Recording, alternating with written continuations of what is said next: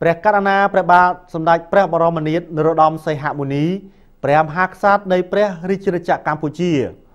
ព្រះរាជសារអញ្ជើញប្រជុំ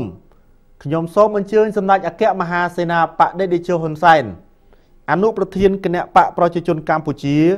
រួមនឹងសហការីចំនួន2រូបទៀតចូលរួមប្រជុំក្រោមព្រះរាជាធិបតីនៃខ្ញុំដើម្បីដោះស្រាយបញ្ហាប្រតិជាតិជាមួយនឹងថ្នាក់ដឹកនាំកម្ពុជាគណៈបកសង្គ្រោះជាតិ